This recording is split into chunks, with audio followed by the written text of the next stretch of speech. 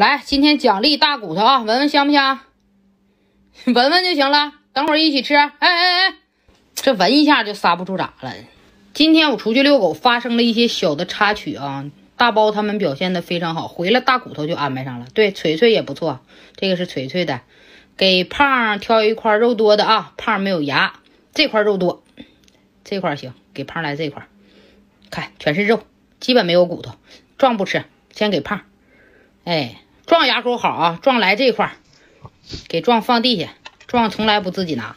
今天我领着大包和锤锤，我正在外面遛狗呢，还约了小一休，我们一起往前走呢。突然之间就冲出一只小狗来，直奔一休去了，给一休子吓一跳，躲了，又奔大锤来，大锤也赶紧跑了，没跟他打架。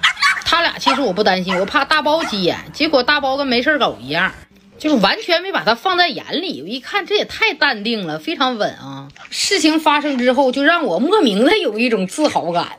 就跟俩孩子打架一样，打输了也来气，打赢了也不对，就这种不战自胜，我觉得是完美。其实我大包不是个怕事儿的狗，它从来不主动惹事儿，但是如果有别的小狗咬它的话，它肯定会上去干的。今天表现非常好。快手，拥抱每一种生活。